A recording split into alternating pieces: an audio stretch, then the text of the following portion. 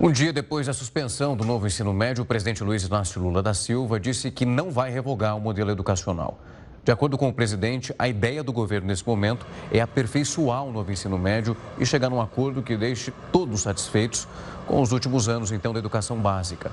Nessa quarta-feira, o Ministério da Educação publicou uma portaria suspendendo a implementação do modelo por 60 dias. Lula afirmou que esse prazo vai ser usado para discutir com todas as entidades interessadas no assunto e que o governo não irá revogar o novo ensino médio.